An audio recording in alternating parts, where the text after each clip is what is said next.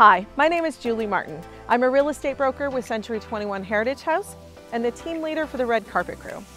Once in a while, a great opportunity comes up, a very rare opportunity. And today I'm going to tell you about this one.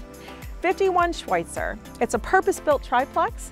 There's three units in this building. They're all two bedroom, one bath, and they all have a lot of great finishes. It's super clean. It's been immaculately maintained and the great thing about this home here is that you could use it as a, an income property and rent all three out, or you could live in one and rent one or two out.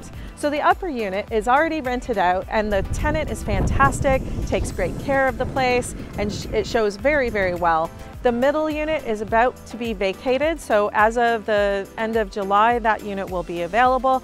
And that unit has a really nice um, deck out back. So it has a private deck for that one. Uh, both of the units, as you can see, have a nice front porch as well, or I guess the upper level has a balcony. So you don't feel like you're in the middle of a bunch of rentals because you're not, you're in a neighborhood. So most of the homes around here are detached properties. So it does not have that rental feel, I will say that. The basement unit is empty right now and it's just being uh, finished up. Uh, lots of nice upgrades there, so it feels like new down there.